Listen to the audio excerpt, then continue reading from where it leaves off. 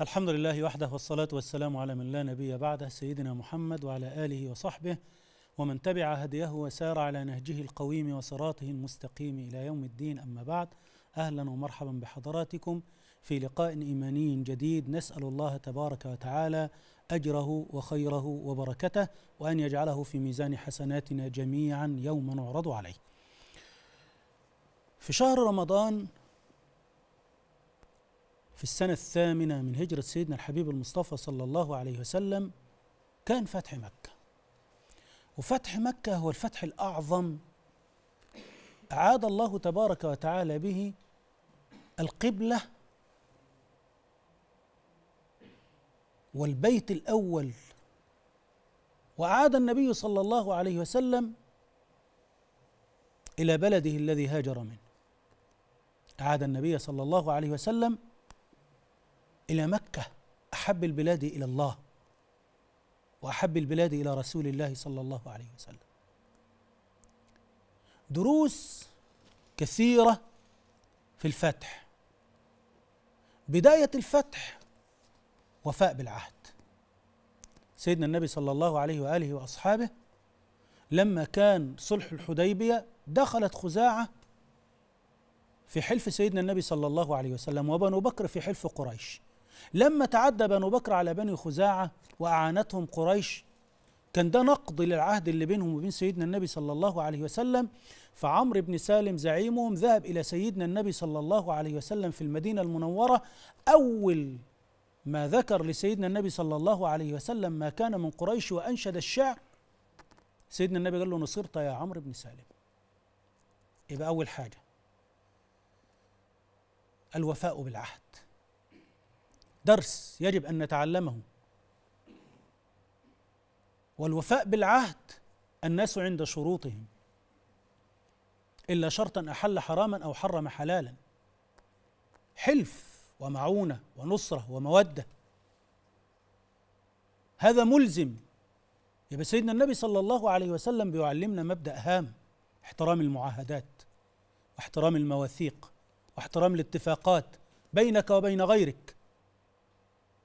الأمر الذي يلي ذلك لما أراد أبو سفيان وهو زعيم قريش في ذلك الوقت جاء مذعور وخائف وأراد أن يقابل سيدنا النبي صلى الله عليه وسلم وأراد أن يعتذر عما فعلوا بعض السفهاء. وقال له يعني الملأ من قريش وزعماء قريش لم يكن لهم علم بهذا الأمر. سيدنا النبي صلى الله عليه وسلم رفض. لماذا؟ يجب أن تتعلم أنه كل الناس يجب أن يحترموك.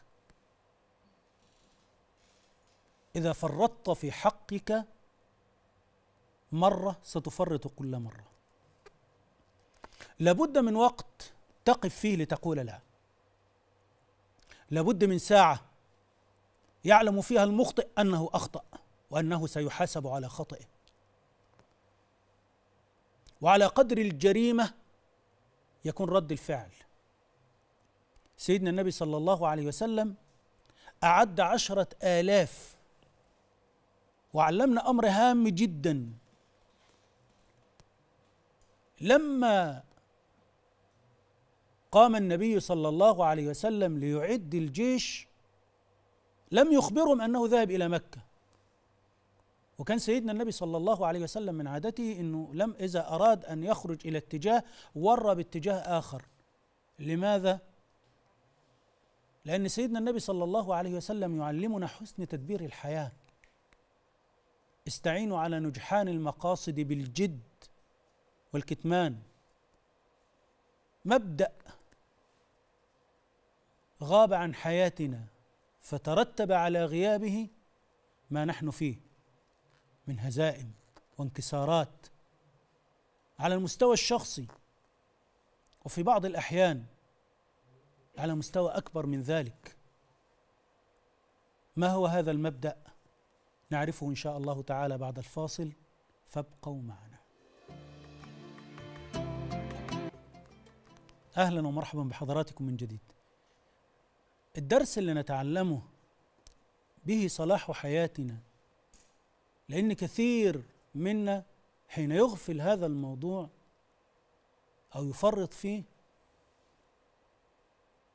مشروعات كثيرة في حياته وخطط كثيرة للنجاح تفشل. لأن كل الناس بتعرفها قبل ما تبدأ. واحد عايز يشتري بيت كل الناس عرفوا قبل ما يعرف البيت فين. واحد عايز يعمل مشروع كل الدنيا عرفت إن فلان هيعمل مشروع وإن المشروع هينعمل في كذا قبل أن يبدأ فيه بخطوة. فتفشل مشروعات حياتنا. واحد عايز يتزوج.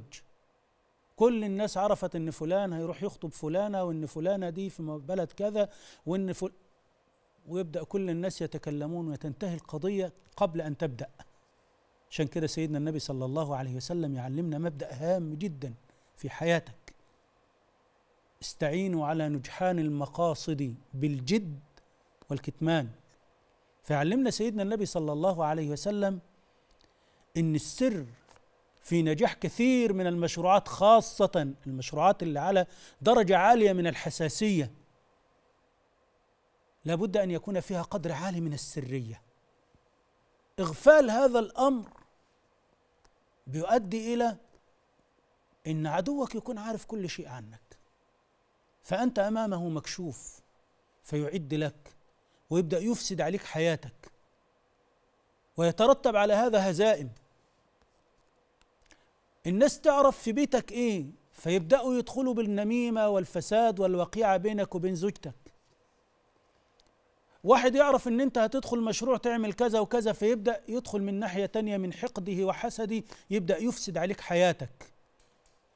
ولو أننا أمسكنا ألسنتنا لاسترحنا من بلاء كثير. ده درس من دروس الفتح. درس عظيم من دروس الفتح. سيدنا النبي صلى الله عليه وسلم لما جاله سيدنا العباس واستأمن لأبي سفيان وأبو سفيان رأى عظمة جيش المسلمين سيدنا النبي صلى الله عليه وسلم عمل شيء وأرسى مبدأ عظيم. لتأليف القلوب. ليس الغرض في الصراعات التي بيننا وبين بعضنا مجرد الانتصار وإنما كسب القلوب أولى من كسب المواقف. والرحمة التي تعم على الناس أولى من التشفي والانتصار للذات. لما سيدنا العباس يقول لسيدنا النبي صلى الله عليه وسلم يا رسول الله إن أبا سفيان يحب الفخر. فاجعل له شيئا. بالله عليك لو إن الموضوع ده عرض عليك. بعض الناس تأخذ الحماس يقول لك لا لا فخر في دين الله كل الناس سواء لا حارب وفعل وفعل. سيدنا النبي صلى الله عليه وسلم ماذا فعل؟ قال نعم. من دخل دار أبي سفيان فهو آمن. ومن أغلق عليه بابه فهو آمن. ومن دخل المسجد فهو آمن. هذا في مبدأ الدين رحمة وفي مبدأ السياسة تحييد خصم وحفظ أرواح الناس واستبقاء الود مع الأهل. درس عظيم. إذا حدثت خصومة بينك وبين واحد من الناس وجاء الناس للإصلاح فكن هينا لينا سمحا. دروس عظيمة وما زالت أحداث السيرة تمتعنا وتشبعنا.